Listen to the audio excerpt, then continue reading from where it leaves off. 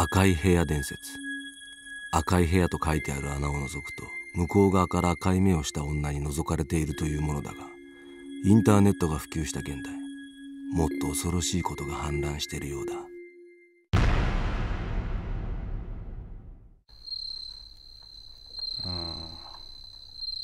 やっぱ下北明大前あたりは高いな。快速止まるとダメだもう当たり前だろあそこら辺は人気なんだから。お。あ？どうした？変なサイト飛んだ。変なって何？赤い部屋。入りますかって。え？何？お前それってヤバいやつだよ。何が？俺も聞いた話だけどそのサイト見たやつは赤い部屋に引き込まれるとか見たやつは死ぬとか。もう見てるし。お前とにかくヤバいって消しとけ消しとけ。大丈夫だって。おおどうした？お前大丈夫か？おおなんだライブカメラか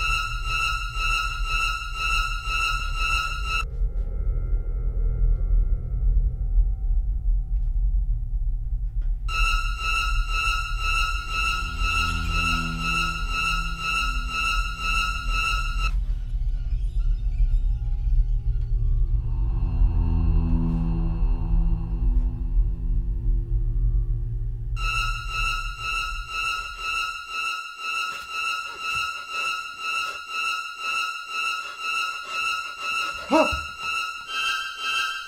はっ。